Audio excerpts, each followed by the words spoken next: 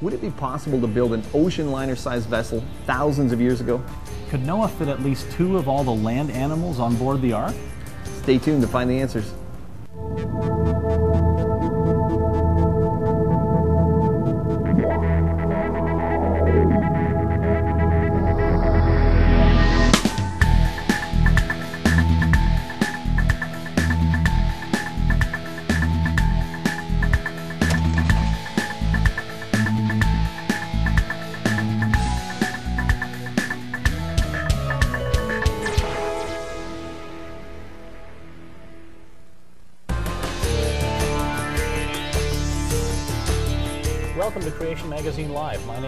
Fangrad. And I'm Calvin Smith. Today on Creation Magazine Live, we're going to talk about Noah's Ark. Right. Uh, it's a popular topic among skeptics as well as Christians. Uh, uh, how could it possibly work? This Right. whole story of Noah's Ark, and uh, and you couldn't build a large wooden boat that big anyway. Right, And right. many of the other arguments there. Yeah, Noah's Ark. I can remember um, before I became a Christian. Um, you know, I, I knew the story of Noah's Ark. It was I don't know, very very popular, I guess. And it was this huge wooden boat. It was this floating zoo, and it was supposedly carried uh, Noah and, and his uh, sons and their their wives on this this big thing. And you know, I had these questions like, you know, um, how, how could an ark carry two of every animal? You know, and seven of some I know now, but I didn't know the, the biblical account back then. You know, how, how could it possibly carry two of every kind of animal? You know, there's all these millions of animals and stuff like that. And, uh, you know, did he have to take fish? I can remember wondering that. he was supposed to take all the animals. And, you know, why do you have to take those dumb mosquitoes along with them? And, you know, questions like Right. that that I used to, used to ask. But I actually used to use uh, the story of Noah's Ark as a, as a way, of, before I became a Christian, of, of kind of you know, belittling the Bible and say, see, you don't have to trust the Bible because look, it's got this account in it, and how could it be true, and so on and so forth. So, Well, the idea of, of the story of, our, of Noah's flood being true or the ark being true has been challenged in many, many different ways, both Right. outside and inside the church, Right. by non Christians and by Christians. Uh, just, just wondering about the validity of taking the Bible as straightforward history Right. there in Genesis 6 to 9 when it talks about uh, uh, Noah's flood. Yeah. Uh, several New Testament writers refer to it as literal history. right? Uh, Jesus thought of it as literal history. Mm-hmm. Uh, so, so it's, it's certainly written as history. The New Testament writers took the story as a real historical event. Right. Jesus comparing the judgment to come with the judgment of Right. the, the, the, at the time of Noah's time of Noah's flood. So today we're going to ask all these questions and give you answers.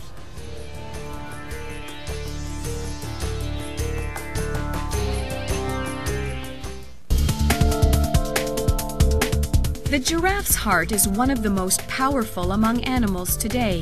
It needs to produce enormous pressure to get blood all the way up its long neck to its brain. This is powerful evidence for a creator because with such high blood pressure, only special design features around its brain prevents it from blowing its mind when it bends down to take a drink. This is a problem for evolutionists to explain, because without these special features, a giraffe bending over the first time to take a drink would die. But if the neck was shorter in the past, then it wouldn't need the special features. This means that the giraffe must have been designed with all of its features at once, just like the Bible says. For details, see creationontheweb.com forward slash giraffe. Creation Ministries International staff, many from a wide variety of scientific disciplines, have produced thousands of articles now available in a massive online database. www.creationontheweb.org has grown to become the world's most powerful internet resource on the creation evolution issue. There are more than 5,000 articles already online, and new articles are added daily. Some of the topics covered include the feasibility of Noah's Ark and the evidence for a global flood, the age of the earth from both the Bible and science, scientific arguments against the Big Bang and models that explain observations in astronomy within a young earth timeframe, recent discoveries that support dinosaurs fitting with biblical history, and many, many more topics. These thousands of articles are available for free 24 hours a day to anyone on Earth with an internet connection. One of the main reasons that CMI built this website is to strengthen the faith of Christians. Genesis is one of the most attacked areas of the Bible. CreationOnTheWeb.org provides logical, scientifically accurate counterattacks in this area. As 2 Corinthians 10 verse 5 says, We destroy arguments and every lofty opinion raised against the knowledge of God. Got questions? Get answers at creationontheweb.org. Richard Lewontin, an evolutionary biologist at Harvard University, once said, It is not that the methods and institutions of science somehow compel us to accept a material explanation of the phenomenal world, but on the contrary, that we are forced by our a priori adherence to material causes to create an apparatus of investigation and set of concepts that produce material explanations. Moreover, that materialism is absolute, for we cannot allow a divine foot in the door. Here is a clear admission of the censoring of any evidence for creation. To read more than 5,000 articles of censored information, go to www.creationontheweb.org.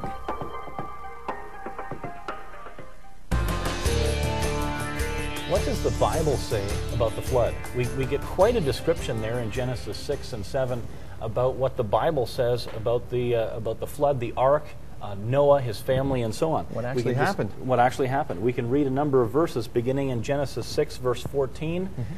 So make yourself an, an ark of cypress wood, make rooms in it, and coat it with pitch inside and out. Mm-hmm. Verse, verse 15. This is how you, you are to build the ark. The ark is to be 300 cubits, a breadth of 50 cubits, a height of 30 cubits. So that's uh, roughly 450 feet long, 75 Mm-hmm. feet wide, and, and 45 feet high, based on an 18 inch cubit. Right. Uh, the distance from the tip of your hand to your elbow. Yep.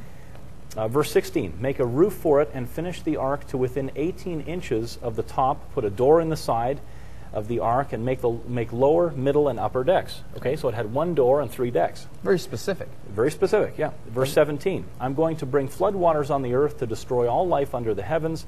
Every creature that has the breath of life in it, everything on earth will perish. Okay, there's, there's a description of the judgment to come.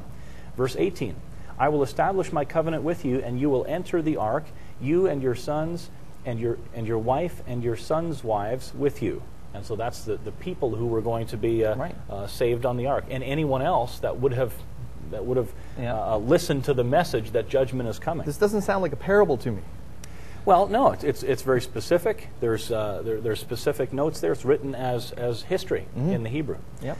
Uh, verse 19 You are to bring into the ark two of all living creatures, male and female, to be kept alive with you. Verse 20 Two of every kind of bird, of every kind of animal, and of every kind of creature that moves along the ground will come to you to be kept alive. So, birds and land animals. Right. And, and the Creatures creatures come to Right, Noah. right. He wasn't on some kind of a worldwide safari to go and find, you know, the, the creatures came to Came, him. That's right. right. Verse 21 You are to take every kind of food that is to be eaten and store it away as food for you and for them, them Right. referring to the animals. 22, that, that rounds out chapter 6. God, uh, Noah did everything just as God commanded him. And then if we continue in chapter 7, then the Lord said to Noah, Go into the ark, you and your whole family, because I have found you righteous in this generation. Verse 2 Take with you seven of every kind of clean animal, male and, male and its mate, and two of every kind of unclean animal, male and its mate. Verse 3 And also seven of every kind of bird, male and female, to keep their various kinds alive throughout the earth. Right. Uh, verse, if we jump to verse 9, male and female came to Noah, entered, uh, and, and entered the ark as God had commanded Noah. So here we see this process beginning. Right. Verse 22, if we jump to verse 22 of chapter 7, everything on dry land that had the breath of life in its nostrils died. Judgment on sin. Verse 23 Every living thing on the face of the whole earth was wiped out. Men and animals and the creatures that move along the ground and the birds of the air were wiped from the earth. Only Noah was left and those with him in the ark. And uh, one more from chapter 8, verse 20. Then Noah built an altar to the, Lord, and taking some of the clean animals and the clean birds, he sacrificed burnt offerings on it. This is, of course, after the flood. Uh, God, Noah thanks God for sparing him. Right. So I hope everyone listening, when you're reading those, because all these points that you, you read are specific things we're going to be talking about today. Because I, I, I think people, sometimes they miss the details and the detail that God has, has put in His Word that can give us some clues because we weren't there. We only have this account. We only Right. have the amount of information that was there. But of course, skeptics love to talk about this. So, you know, one of the first things you mentioned is how big was, was the ark. We actually get some dimensions in there. Sure. Now, uh, Yep. the, you, you mentioned a cubit. That was a, a measurement, a, a way of measuring things, and it was typically from the tip of your finger to, to your elbow. That was that was a cubit Right. and that was about 18 inches long. Now, there's been talk lately that because there's different cubits, there was there was Well, different yeah, different. Your, your cubit is different than my cubit. well, but but there's even like different uh, styles of cu- cubits. Oh, there's see, like yes. royal cubits, and, and and so there's actually different. But we're talking about the shortest cubit was 18 inches. So everything I'm going to be discussing today uh, is going to be based on an 18 inch cubit. So it's the minimum. It could be larger than than what we're mentioning here, but. You mentioned that the uh, if, if you translate cubits into 18 inches and then and go by the dimensions, the ark was 450 feet long, 75 feet wide, and 45 feet high. That is a huge boat. The actual volume on board is 1.52 million cubic feet, which is a, a staggering amount of space. So, to put this in perspective, this is the equivalent volume of 522 standard railway cars. Now, if you've ever been sitting there at the red light watching the, the, the train go by, and here's a, here's a PowerPoint to maybe to help you, you can see some railway cars there. Start counting. Like one, two, if we're talking to 522, that's a massive amount of room. a lot of space. That was available on the ark if you, if you go by the, the dimensions. Now, the next thing you get into is, well, what about the, the seaworthiness of it? Like, could you actually have a, a wooden boat that big? And what about the shape of it? And would it be seaworthy and stuff like that? Um, so, you know, I'm going to show you some common ark shapes we get. Here's the, uh, here's the classic, the bathtub ark. right on, on the church nursery wall. right. And uh, we obviously laugh because, you know, we know it's cute and it's meant for the nursery and stuff like that. But the problem is, nobody's going to think of that as a real boat. Right. When you walk into a church nursery, and, and even if visitors come in, they leave their kids there and, and go to the church service. It's a myth. It it's just a, screams, this is a fairy tale. This kids Right. can't possibly be true because Exactly. a, a boat shaped like that can, can it wouldn't work. That's right. So here's another uh, picture. Um, you know, this is commonly uh, uh, drawn. You know, it looks just kind of like a big boat, um, but still got that you know that regular Yeah, boat shape, and it's got an open top, and you know, doesn't really look like it. So this was the um, the shape that we commonly referred to up to to a short time ago. It was a, more like a barge because we know the ark didn't need sails, it didn't need a way to move maneuver Right. around because it was the earth's covered in water. It doesn't need to to you know steer uh, and, and so forth. Yeah, a So big rectangular box. Right, is just the- just a cargo cargo vessel basically. But um, here's a more recent look of what we, we feel the ark you know may have looked like. You'll notice that uh, that uh, wind vane on the front. Because uh, when, when skeptics ask about, well, could it have survived these waves? You know, we've done tests, and of course, if you have a lot of a lot of high waves and stuff, puts a lot of stress on, on ships. And so, uh, the uh, you know many researchers now feel that if you'd had this big wind vane, the wind would have pushed the the ark, so it would have faced the you know the waves oncoming, and it wouldn't have um, you know got pounded uh, Right. pounded to pieces. I mean, some research research has been done recently to suggest that that large, the rectangle uh, shaped ark would line itself up with the waves Right. uh, quite quickly, and and so you'd, you'd have this massive rocking Mm. That's uh, on the ark. That's right. So, um, a- a- and to follow up with that, there, there's been some interesting studies done. As a matter of fact, um, in 1992, a creationist group in Korea approached a world-class ship uh, research center, it was, it was KRISO, which is the Korea Research Institute of Ships and Ocean Engineering in uh, Daejeon, Korea, and they analyzed the biblical ark. So what they did is they took the dimensions of the ark uh, that are listed in the Bible, and and uh, you know played with different shapes and, and, and volumes and stuff like that, and and so they came up with some interesting um, uh, points there. And by the way, for anybody interested in more information on the validity of Noah's Ark, and, and you're looking for some more information, you can visit our website, creationontheweb.org, but also this one here, www.worldwideflood.com. We link to this website from our website because it has such great information. Great. But uh, here's some pictures from the, uh, the study that was done um, by KRISO. And basically, what they, what they determined that Noah's Ark was extremely stable um, to violent seas. And, and the fact that the dimensions that the Ark is listed at w- would have been able to withstand a lot of tipping and, you know, before it would have overturned. capsized, it was a very, yeah. very stable, um, you know, style of boat. Um, criticisms like, well, a- wooden ship you know, wouldn't have been able to survive the stresses. It's interesting that when you go back in history, um, ancient Greeks were using te- uh, techniques like mortise and tenon planking in the 4th century BC. And uh, we take a look at the, the diagram here. What it is, is it's a plank, and it's got slats cut in it, so these pegs would go inside, and then you would use uh, like a dowel to put these things together. And what they found out is it's provided tremendous strength with transverse shear, uh, longitudinal shear. You could build tremendously strong boats Out of wood. out of wood. And, and this is in the 4th century BC. We're not talking modern technology and, and things like that. And uh, we can see a, uh, here's a picture from a, a plank of a wrecked ship that used this style of, uh, of technology. So, really, when you look back in history, there's ample evidence that this type of technology for shipbuilding could create a very um, stable, um, seaworthy, um, and, and uh, you know it, that it's a viable concept that the people who put the ark together knew what they were doing.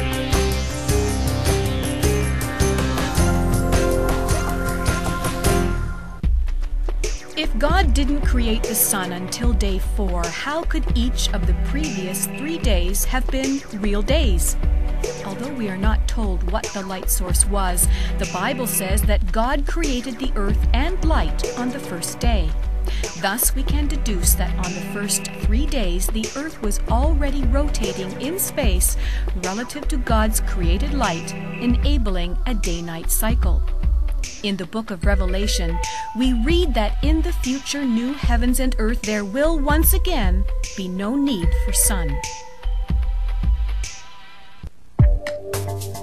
Creation Ministries International staff, many from a wide variety of scientific disciplines, have produced thousands of articles now available in a massive online database.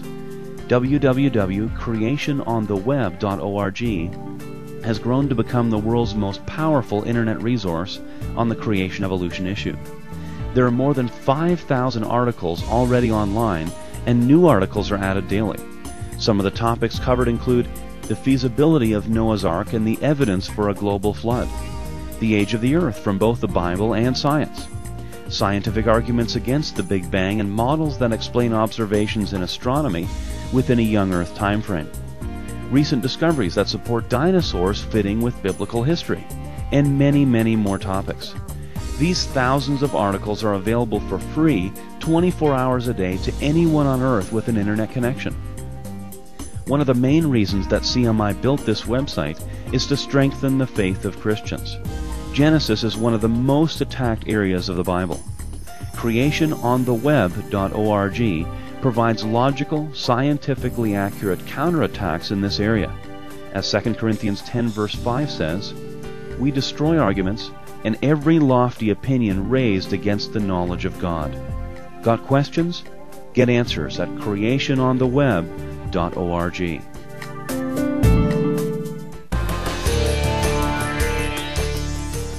So we're talking about Noah's Ark, and uh, we've seen some evidence that uh, you know you actually could build a, a large wooden ship like this. That the dimensions of the ark uh, make sense. That there it would create a, a seaworthy um, craft, and so on and so forth. And it would survive the forces of the flood. That's right.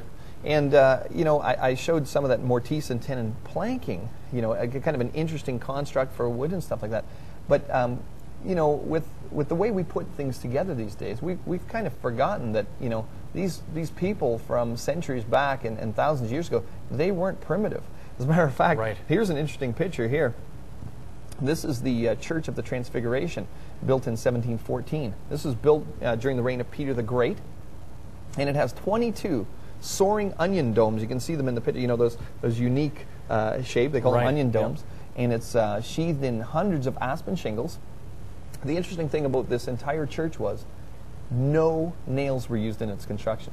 No, no nails anywhere in the construction of it. Now, um, I know a little bit about construction, and that is absolutely mind blowing when you when you think of that. To to put, you know, a, a, a bureau, a, a ch- chest of drawers together, and not have any nails or, or things like that, or glue. Takes skill. Takes a lot of skill. And so here's an entire church. So I think a lot of people have that idea. Well, you know, Noah was primitive, and you know, he didn't really have the technology and stuff like that. But um, obviously, he would have been very intelligent, and uh, who knows what kind of uh, technology and, and, skill was available to right. him at the time. Now, uh, the idea of you know these, this large wooden ship. Some people think, well, there, has been no record of anything near Noah's Ark, but it's not true. For comparison, right? For comparison, yes. you know, wooden vessels. Here's a, a neat uh, a neat uh, article from Time Asia. So this is Time magazine, but the Time Asia from okay. Asia, and there's the online reference there. Um, and the article talked about a 15th century Chinese admiral Zheng He. Zheng He had hundreds of ships in his treasure fleet, it says, but the largest, 130 meters long, 60 meters wide, and it was uh, a nine masted galleon. It says they were technological masterpieces. Watertight bulkheads, which stored drinking water and supplies, kept the ship afloat if the hull was breached. said Zheng He's fleet traveled from China all the way to Kenya, Africa, and back. So here's, here's uh, a secular source talking about these huge ships that the, the Chinese had built. And uh, this will give you a little bit of a, an idea. You see the, uh, you know, the Pinta, the Nina, and the Santa Maria. Right. Uh, yeah. Columbus sailing to, uh, to the New World. There's an actual picture of the Santa Maria in scale to, uh, to one of the the, the, the, Chinese galleons. Wow. And this was actually, uh, the, the, in the picture, this would have been smaller than the one referred to in the, um, in the article. But you'll notice even this one is 440 feet long. Um, yeah, about the size of the ark. Both the size of the ark. So the and concept. Made out of wood. Made out of not, wood. Not metal, obviously. And it, and it wasn't just, you know, hugging the shore all the time. It made long voyages and right. so on and so forth. So very believable what we see um, uh, written.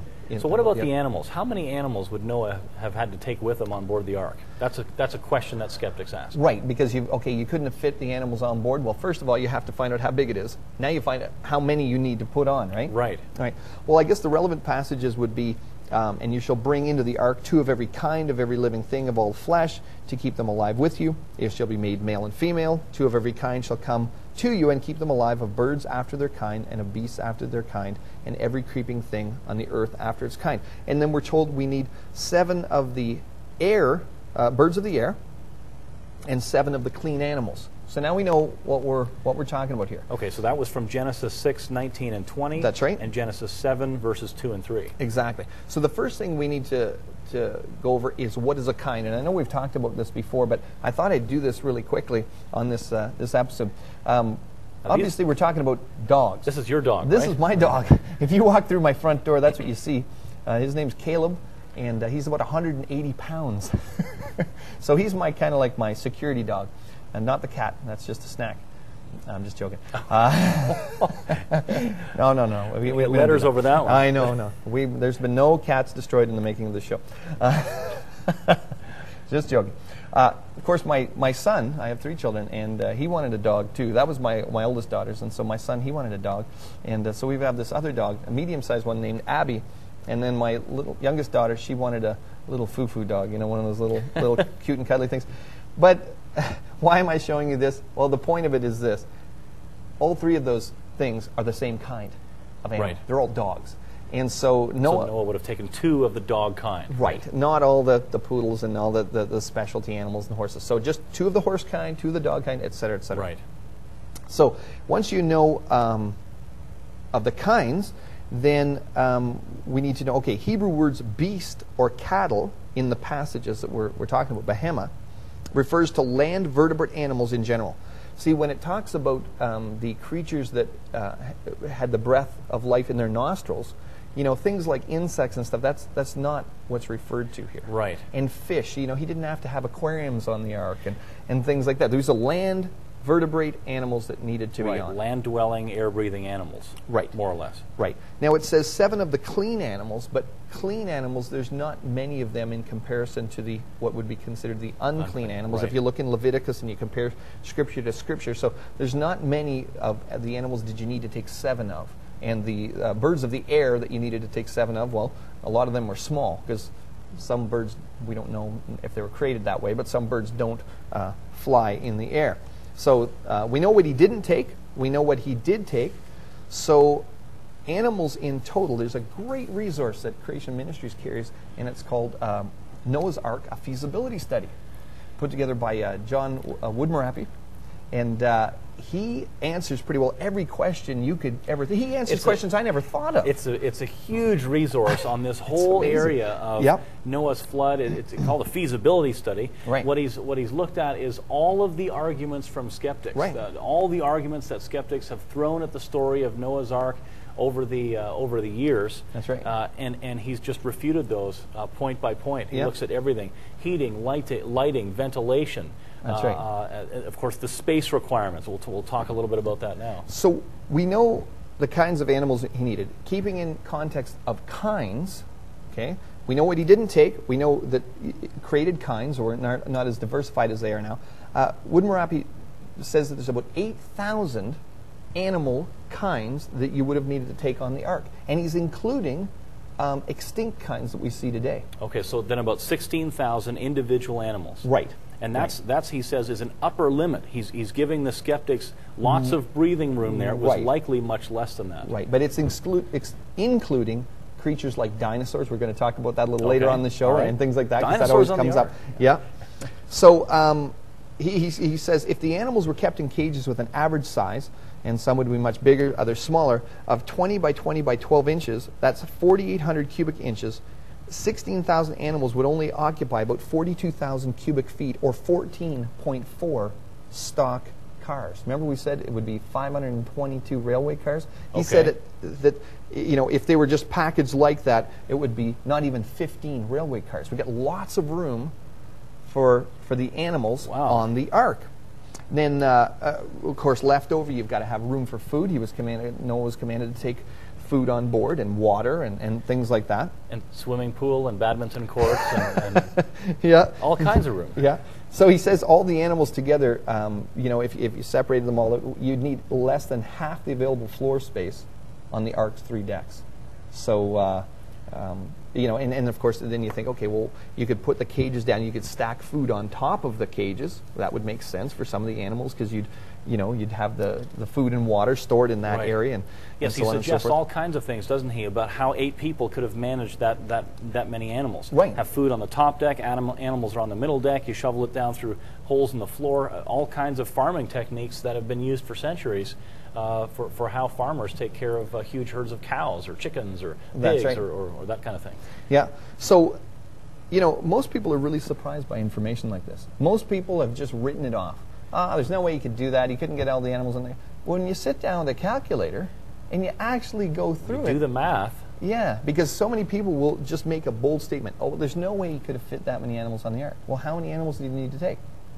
Well, I don't know, but you, you, you just couldn't do it. Yeah, it has to be a fairy tale. Yeah, but they've never actually sit down, and so it amazes people when when you show them this kind of information. Like, really, you really could take that many animals on the ark, and and of course, eight people looking after them. There there is a lot of logistical challenges here to having a big floating zoo. I guess the point is it's not impossible.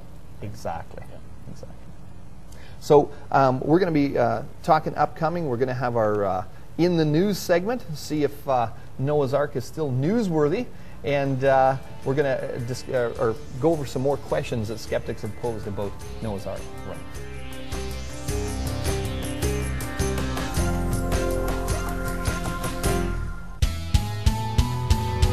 Many Christians are convinced that scientists have proven that the universe is billions of years old. In Genesis 1, we learn that God created the heavens, the earth, and all they contain in six days. It's plain to see that the word day in Genesis 1 clearly means a literal 24 hour day. The Hebrew word for day is used more than 2,300 times throughout the Old Testament, but its meaning is only questioned in Genesis. Why? Because the idea of millions of years is so ingrained in our society today. Each issue of Creation magazine contains articles by scientists refuting the millions of years and supporting a recent creation in six real days, just like the Bible says.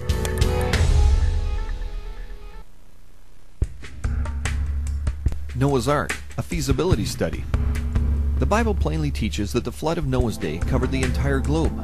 But this raises serious questions. How could Noah and his family have cared for all of the animals? What did the carnivorous animals eat during and after the flood? The account of Noah's flood is perhaps the most attacked account in the Bible. Skeptics and Christians alike have raised some serious and seemingly unanswerable questions regarding this event. Were dinosaurs on board? How do you get rid of that much animal waste? Did Noah have to go all over the world trapping the animals he brought on board? Did Noah's family carry all of the diseases we experience today? In this excellent and in-depth book, author John Woodmorappe presents satisfying answers to these and many more questions you probably never knew existed. A delight for the serious thinker.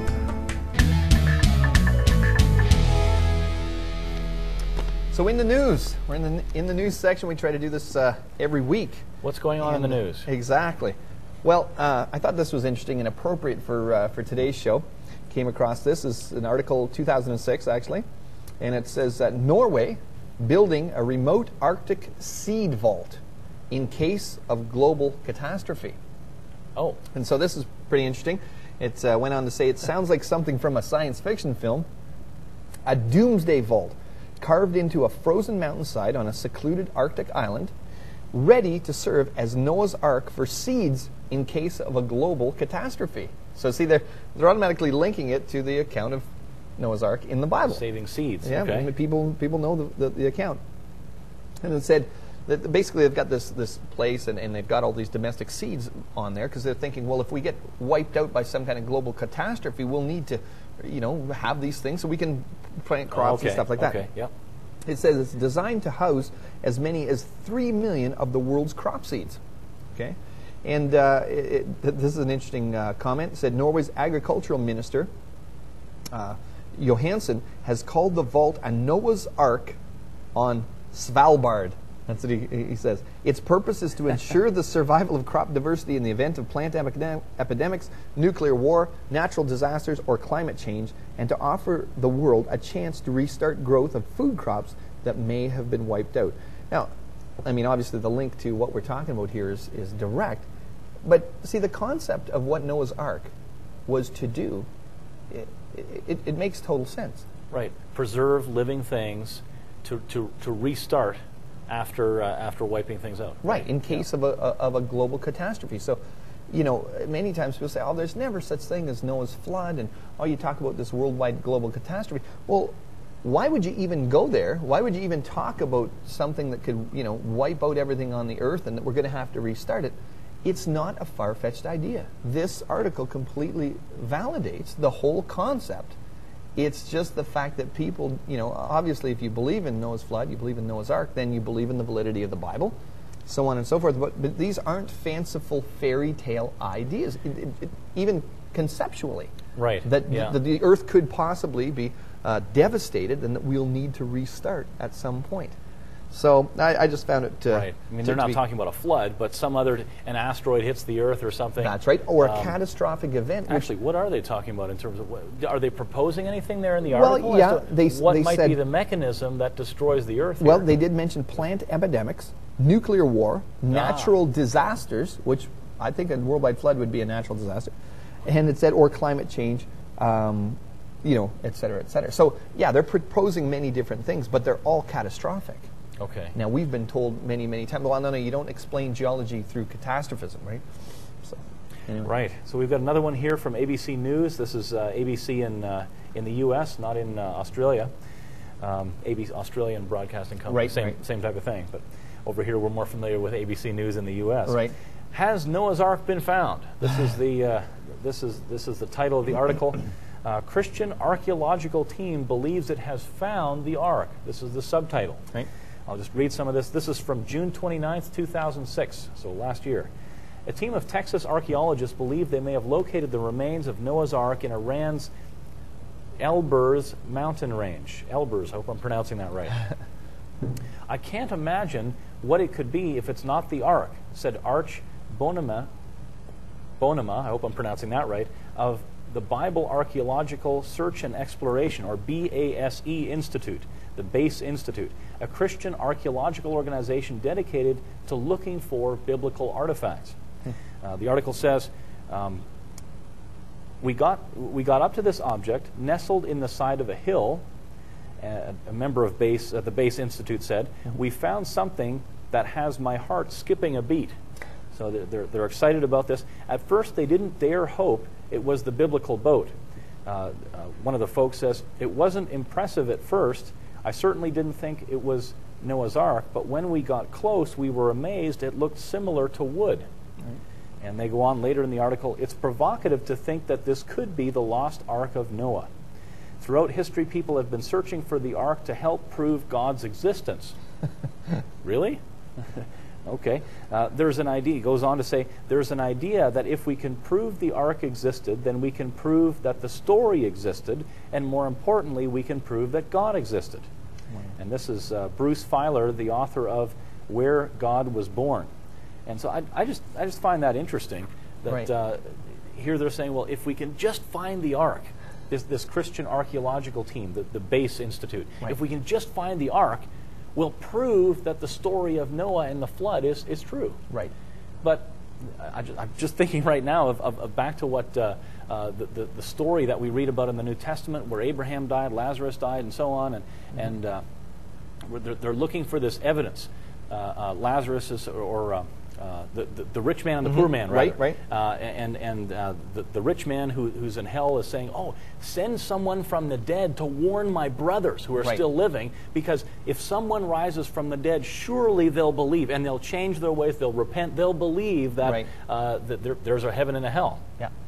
And the response is, they have Moses and the prophets. Right. Let them read Moses and the prophets. Mm-hmm. That's they have the scripture. Even if someone rises from the dead, they're not going to believe. Right. And, and I just think of you know this, this notion of if we could, it's, it's a magic bullet, right? Right. If we can just come up with this one magic bullet evidence, we can we can have mass conversions all over the globe. If the Ark of Noah would be found, and many creationists, even even uh, folks on our staff, believe that it wouldn't have been found, it would have been torn apart and used as lumber uh, Right. in, in, after the flood. Yeah. But uh, if if it's still intact and if it were to be found, what would the skeptics say? I mean, you, you could put that on a truck. Well, it wouldn't fit on a truck, but you, you could drag that down every main street in, in every town around the world. What are the skeptics going to say? They're going to say it's not Noah's Ark. That's right. You Or, know- or it's it's the ark that gave rise to the myth about Noah's Ark in the Bible, but it still doesn't prove the Bible is Right. true, and, and, and et cetera, et cetera, et I cetera, mean, et it, cetera. it would be great for us to be able to find that as creationists, as Christians. We'd be because excited, th- yeah. Oh, we'd be excited. Would it lead to mass conversions? So, some Christian groups feel that it would. Right. Would it lead to mass conversions? I don't think so. Probably not. It would probably get people thinking and talking and stuff like that, is, which is exactly what we do, really, when we're out, speaking. Now, we're talking mainly to church groups, and we're there to show them that, you know, that the, the feasibility of, of these accounts in uh, the Bible, they are, you know, you can read them, that's plainly written, because God's Word says it's true, it's true. And, and so people want to know, uh, what about the logistics and stuff like right, that? Right. What about the details? And, and so we've got those scientists on staff. We they're, they're doing research, reinterpreting things that are out there, Yeah. and, and we publish that in Creation Magazine. And that's that's what we're trying to do on this show Exactly. to reveal a bit of the, the the information that's published in Creation Magazine on our website, in the books, and so on, and to get this out in a little bit of a different format so that you folks can download it to your iPods and and uh, and, and watch it on your computers. That's what this ministry is all about, providing the evidence that supports the biblical history.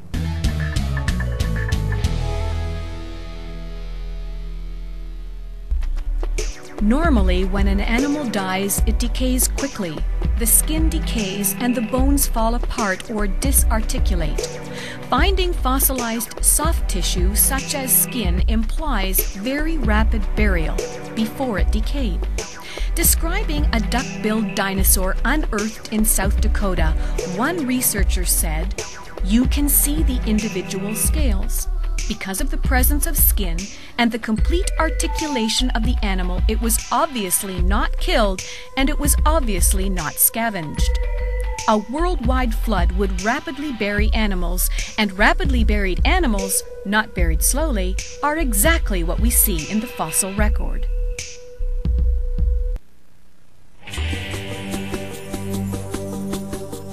The Genesis Flood. This short 32 page booklet will answer your questions about the reality of Noah's flood and the ark. How big was the ark? Could such a huge wooden vessel be seaworthy? How many animals went on board? How could kangaroos get from Australia to the ark? Has anyone ever seen Noah's ark? Was the flood global? Where did the water come from? Where did it go? Is there evidence of the flood? Author Dr. Tas Walker, an engineer and geologist, answers the most commonly asked questions and shows that the biblical account is thoroughly believable.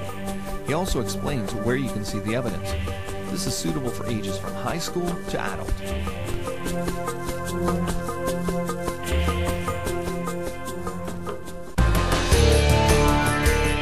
Well, we're back and we're talking about Noah's Ark, and That's uh, we want to just give some of the um, some of the examples that sometimes skeptics have, have brought up to try to discredit, you know, the idea of Noah's Ark. For example, one of them is, you know, what about all the diseases we see today? The, so the, the I guess the, the argument would be, you know, Noah and his family would have had to have been disease-ridden, you know. Uh, you know, they would have had to have every disease in the in the book. They would have come off the ark, and then you know, in order for us to have it. But it doesn't really make sense. What what people don't really realize is things like the plague and AIDS and things like that. They probably didn't exist at the time that they came off the ark, because we're living in a fallen world. Um, when we study, you know, genetics, we see mutations. Things are getting worse, not better. We're devolving, not evolving. For example, here's a, an example of the bubonic plague killed about a quarter of the Earth, uh, popula- or Europe's population in the 1300s. Researchers hypothesized that the loss of DNA due to mutations um, in, in certain bacteria related to the disease um, is actually what caused it to degenerate to the point where it was actually harmful to people. They, it, they figure it lost about 149 genes due to frame shift mutations, deletions, or other mutations. So that's a loss of information. It's a corruption of DNA that caused this disease to come into being. And so that's what caused the plague? That's what they, they, they figured that this certain bacteria basically uh, degenerated to a point where it was very harmful. Oh, okay. So it didn't exist before then. Um, how about behavioral things? For example, Kuru. That's a disease that's pretty nasty. You, you go insane, basically. Um, and, and you get that from being a cannibal, eating someone else's brain. So obviously the, the disease is, is, is part of that. But I mean, that's a behavioral thing. Um, that's something that shouldn't have existed in God's perfect world. Um, so here we see examples where those types of things probably never even existed at the time of, of Noah's Right. Flood. so they've developed since that time. Noah's family, they didn't have to carry those things with them in their bodies uh, uh, through the, the event of the flood. Exa- exactly, exactly. Um, we mentioned uh, dinosaurs before. You know, we- Dinosaurs. had- That's a, apparently a big problem. Right. Huge animals, you know, 40 feet tall and so on, many tons. Yeah, 80 ton Ultrasaurus. How would you get that on board the Ark, et cetera, et cetera? Right. Um, well, two things. Uh, here, here's a, a PowerPoint that'll uh, help you figure out one thing. Um, remember, we talked about kinds. I showed you some, some of the dogs that are in my house, different kinds. Um, basically, creationists figure there's only about 50 dinosaur kinds. You know, you see a little Chihuahua, you see a, a, a big Great Dane. Well, you see, you know, the smaller Velociraptor, you see a, T-Rex. Basic, same body shape, body type, and stuff. So we feel that there was there were more variation within a kind. So number one, you, you've only got about 50 dinosaur kinds. Right. And the other thing is, is if you were going to repopulate the Earth after the flood, you probably wouldn't take grandma and grandpa on board, right? They, they got to, you know, replenish right, uh, uh, right. and stuff. Take the young ones, the small ones, they get off the ark after the flood, they repopulate the species. Right. You want young people for that kind of activity, not senior citizens. right. But that, uh, and, and interesting that some of the, the, the creatures that we see today, for example, uh, sharks. You know, um, the average shark, uh, great white shark today, you know, would probably have a, a tooth that size. You know, that's a big shark. But this shark here probably would have been about 80 feet long. And sharks do Wow. something interesting. They grow until they die. Well, so do crocodiles and, and things like that. So if you can picture these things growing and growing and growing and growing, you see the, the lifespans, of course, before the, the flood of, of people were very great. If creatures' lifespans were very great, some of these huge dinosaurs may have been around for many, many years. So a young one could have been very small in comparison to some of the fossil record we see. right. Um, it, funny, funny objections we get sometimes. What, what would you do with all the waste products generated by But 16,000? why did you pick this one to talk about on this show? I mean, of Well, I all just- of the things we could have talked about, I- excretory requirements. It says in my notes here. Well, I just All right, thought it well, was- What's what's the deal with? Well, well, think about it. You know what? It's actually a good argument. What would you do with the waste product from 16,000 animals? I mean, if we brought a couple horses into the right, studio right now. It's a legitimate problem, I guess. Right? Right. What would you do with the waste? you've got you know you've got methane, you've got all sorts of problems, right? Right. Bad smell. bad cells. Um, well, for example, here's uh, you know how did they they dispose of the waste? Well, the amount of labor could be minimized in a lot of different ways. Um, they could have had sloped floors or slatted cages, so you know then the droppings go down. They they put them down. They would have gone into a composting uh, manure bed, um, or they could have been flushed away. There would have been a lot of water around if they, you know, slanted them off and, and, and dumped them outside the ark. Um, things like absorbent material, sawdust, uh, shavings, peat moss, um, can absorb a lot of moisture and, and, and smell and stuff like that. And, and a lot of times you don't have to change it for a very long time. The other thing is, you get a big boat, especially towards the bottom, many animals would have hibernated in that type of condition. Right? Right, Many animals yeah. today hibernate. It's dark, the limited mobility. Right, and and so uh, the the chance of how, how much you had to feed them, for example, would have been lessened. And then, of course, the problem we've we've brought Right. up, you'd have less Less problem on the other end. I guess that's the way you could put it. So speaking of the other end, what about the food requirements? I mean, Okay, you- right, you- yes. You, know, you, you got you got a ton of uh, a ton of these animals. You've got to feed them. Well, we already mentioned hibernation. Maybe you didn't need that many, but it is pointed out to Noah that he needs to bring food on board um, right, the ark. that was specific there in Genesis. Right. Um, so the ark, you know, they probably could have carried uh, compressed or dried food stuffs. You wouldn't need, you know, fresh veggies and, and all that kind of stuff. Um, so it could have had a lot of grains, hay, fiber. Um, and Woodmorappe, in, in his book, Feasibility Study, says that probably it was about 15% of the ark's volume would have been taken up um, trying to feed the animals, uh, you know, with, with, with, with stuff like that. And drinking water would have taken up about less of 10% because it could have been less because if you if, if they'd constructed you know troughs on the top of the ark and, and let rainwater uh, come in, they perhaps could have uh, limited the amount of water they needed like Okay, that too. rainwater. Yeah, if they had a way of filtering it. So again, when when you actually look into the logistics of it, and and um, Woodmorappe went to many people um, that that you know cage large large numbers of animals today. And how do you feed them all? And how do you do this? And how do you make it economical? And he's got some real world explanations of how this could could have been done. Right. Uh, you know, quite so, easily. So again, we see that the bottom line, all these, these arguments that skeptics have thrown at the story of Noah and the flood, when you go and do the research and do your homework, there are solutions that present themselves to- Right. to, to many of these problems. It doesn't mean that, that it would have been easy for Noah and his family, but Right. it also suggests that it is not impossible. The, the, the story of Noah's flood, because of all these arguments from skeptics, is not made impossible by those arguments. All of those arguments can be answered. Right. With uh, uh, there are answers to those things. And, and think of all the things that have happened since the, God created the world uh, around 6,000 years ago. I mean, this is one of the accounts that's in the Bible. It's in there for a reason. It's a special account. I mean, this is a very special event that happened. Of course, it's recorded, and, and of course, it's unusual. Um, and, and Noah certainly took a long time to build the ark, and he would have had a long time to think about all these problems and, and all those. What about the ventilation? And, and we're given a certain amount of information that God gave Noah. We don't know if there was any more that you know God had given and stuff like that. For example, um, one of the arguments that's been used against uh, this story is, you know, the Bible says to coat the ark in pitch, right? To, to keep it uh, waterproof. Watertight, okay. Right, right. So uh, one of the arguments I heard one time was, okay, well, pitch, what is that? It's tar. And of course, we believe that, uh, you know, um, tar would have been formed at the time of Noah's flood. It would have been a byproduct of, of, of you know, um, burying plant materials and all that kind of stuff. So if you needed the flood to get the tar, but he needed the tar to coat the boat, Okay. You've okay, got- you- yeah. you got a There's problem another here now. argument against the story of Noah's, Right. Noah's Ark. yeah. But it's interesting. Um, the Encyclopedia Britannica says about naval pitch, which is a pitch used to coat boats, and it said uh, oleoresin, also called gum or pitch, is extracted from the pine. So you can take pine trees and you can burn them and you can extract the sap out of them and you get a thing called pitch and you Okay. and you mix it with uh, I, I guess the, the ashes and stuff like that and you get this tarry pitchy material.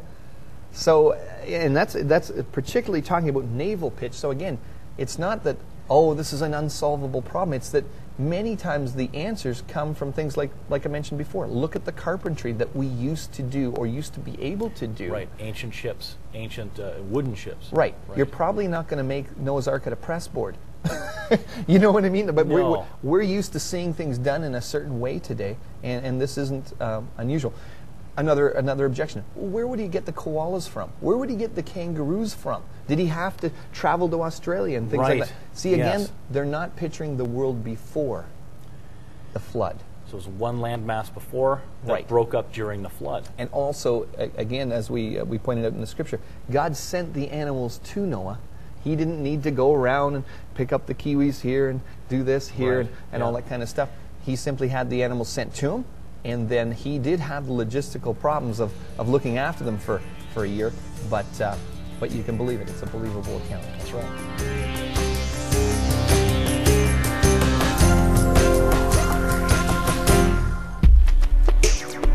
In Genesis chapter 2, the order of creation seems to be different to that in chapter 1, with the plants being created after Adam.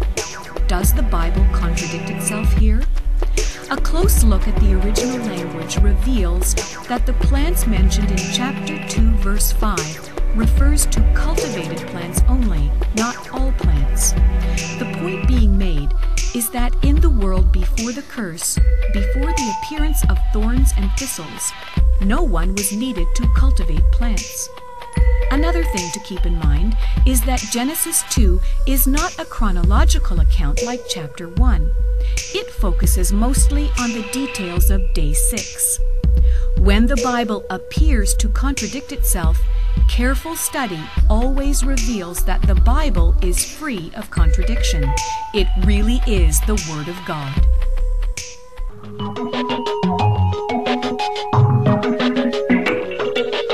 finding answers to questions about the origins debate creation or evolution. When the results are in, which one is supported by scientific observations? Find out at creationontheweb.org. Creation scientists and researchers from around the world have contributed more than 5,000 articles, many of which appeared in leading creationist publications like Creation Magazine and the Journal of Creation over more than 30 years. A new daily front page article keeps web visitors informed about the latest breaking news in the creation evolution debate. When news breaks about the latest evolutionary ape man or some major supposed evidence for evolution, check out creationontheweb.org for a Christian creationist response. Each weekend, the website features a feedback article, a response to web visitors' email feedback.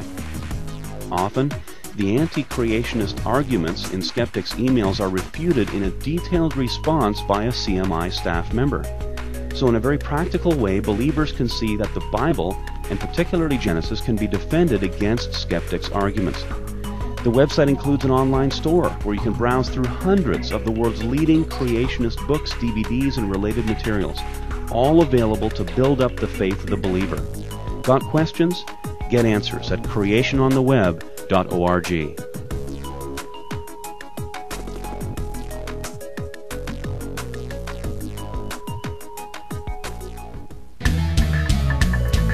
So we're at the feedback section of the show. This is a fun, fun section where people um, can email in uh, questions about uh, topics that we That's cover. right. Real And, uh, people send real emails. That's right. And we really read them. and we try to get to as many as we can. Uh, here's a great one um, from the United States. Uh, it's titled Helpful in Dispelling Doubt. And it says, uh, Dear uh, Creation Ministries, I wanted to quickly write and thank you for what you're doing and what you're providing. I'm amazed by the spectrum of topics covered and encouraged by the scientific aca- academic merit within each article. I've definitely taken advantage of your resources. Says I can't think of a single relevant question that isn't some way addressed on your website, which is true. it's very extensive, over 5,000 articles, I believe, now on our, on our right. website. I also appreciate your bookstore, which I accessed today for the first time. Um, of course, people can access our bookstore and, and resource center via the web. Something like 400 titles, creation books and DVDs uh, available online. That's right. Uh, creationist books are hard to find, he says. Not only do you offer them, but they're au- authored by people with significant and current knowledge in the areas they address. It's very true. We have PhD scientists that address these things. That's encouraging. In brief, my faith has been severely tested and damaged in the past year, but your ministry has helped a great deal in answering questions. Oh, praise God. Yep. That's Dispelling doubt, reigniting my layman's interest in science, and securing my belief that the Bible is the first and foremost resource of all. Thanks again um, from this person. I mean, But isn't that great? It, That- it that's. Just, that is wonderful to, to, to get feedback like that. Yep. Um, is just that's that's what it's all about. We're strengthening people's faith. This, this fellow here said he's, he had it, it, it's renewed his interest in science. I mean, Right. th- that's great too. That's, that's Yeah. not one of our goals, but to strengthen people's faith in the Bible, to show them that the accuracy of, of what we look at in the biblical text is supported by, or what the biblical text says is accurate. It's supported by right. scientific evidence. I mean, what we did today was show that the Bible can be trusted on testable matters, like Noah's Ark, right? And, and, and so many Christian believers um, know that, well, if, if you can trust the Bible in, in those testable matters, then you can, you can trust them in all sorts of different matters, right? This fella can go to his scripture and trust God's word, trust his promises that are in there. Yes. Um, basically, Yes. that's what he's saying. I mean, John 3.12. Um, Jesus is talking to Nicodemus about being born again, a, a specific context. But he says the words, If I've to, uh, told you about earthly things and you don't believe, how will you believe about heavenly things? Now, that's Right. in a specific context, but it does get you thinking. Is the Bible just about heavenly things, just about morals and, and you know salvation and stuff like that? No, the Bible can be trusted on things like geography, you know, biology, history, science.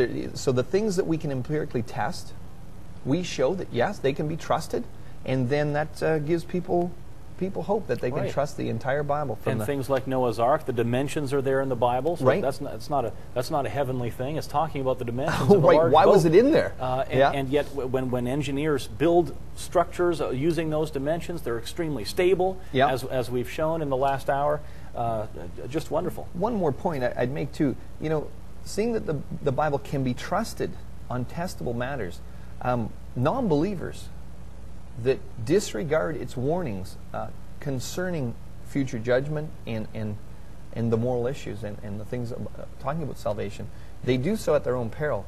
Um, that's not to be, to be mean or anything to anybody who is not a Christian that's watching, but it's to really give you a heads up that you should really look into what the Scripture's saying. That's right.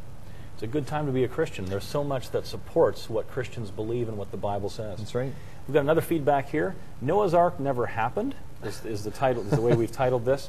Um, uh, this letter from a fellow in England. His letter is printed first in its entirety, and then once more, uh, the complete lack of substance of anti-creationist attacks is glaring. His letter is printed again with point-by-point responses by Dr. Jonathan Sarfati of Creation Ministries International, Australia. And so Dr. Sarfati is responding to this. Here's first an excerpt from this, this fellow, uh, what he wrote in. You know, in the civilized times we live in, I find it quite unbelievable that there are still people around who doubt the theory of evolution. I believe that everyone should have the right to make up their own minds, but the arguments in CMI are ridiculous in the extreme. Dinosaurs could not have existed because they wouldn't fit, uh, they wouldn't all fit in Noah's Ark. Please, the story of Noah's Ark never happened. It's a parable, a story designed to represent a, deep, a deeper meaning. Do you truly, truly believe that dinosaurs are only 6,000 years old? There's so much overwhelming evidence to the contrary. And he goes on, there's other, other accusations he makes. So here, here's the refutation then from Dr. Sarfati. I find it quite unbelievable that there are still people around who assert that the theory of evolution is proven fact, in spite of the mountains of evidence against it. Right. And that's what our magazine does, and, and what we're trying to, uh, again, communicate on this show. Yeah. Uh, another response here. Do you truly believe that dinosaurs are only 6,000 years old? And, and the response is, of course. How else could red blood cells and hemoglobin survive in dinosaur bones? See example, and, and it's a link here, sensational dinosaur blood report, and another link, still soft and stretchy. and uh, about the latter, uh, uh, the find of flexible blood vessels inside dinosaur bone. Right. Uh, I must also point out that if we are to believe that dinosaurs are a certain age, then logically we must believe that they existed. So uh, j- just, and, and it goes on from there. There's other things we could talk about. Right. The evidences for the Bible are exciting for us as Christians today. There's so much out there that supports Christianity. It's an exciting time to be a Christian.